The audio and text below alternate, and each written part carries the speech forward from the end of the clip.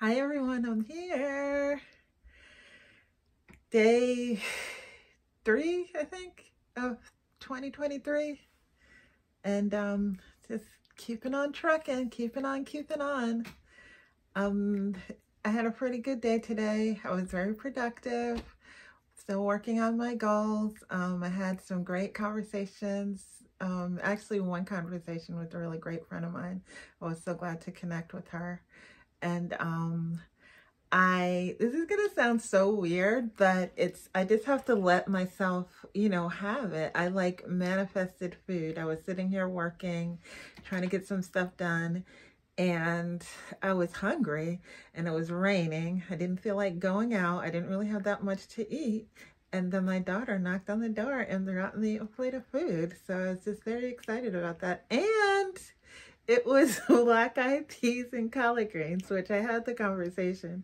A lot of you guys know, um, you know, it's a tradition in the African American community to have black eyed peas and collard greens on New Year's Day.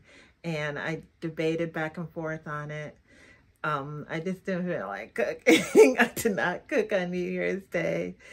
And um, that I was like, oh, you know, I wish that I had some. Um, and then she wrote me some black eyed peas and collard greens. So I was like, okay, this is really good. And I think this is an example right now of me being just authentic. Um, and, you know, the old me would be thinking about like just judgment. I'm not even gonna, you know, give it any energy that I'm not judging myself. Um, and I'm just choosing to look at it as just like thankful that I got what I wanted. And I think just, it's just further confirmation that anything that I want, I can make happen.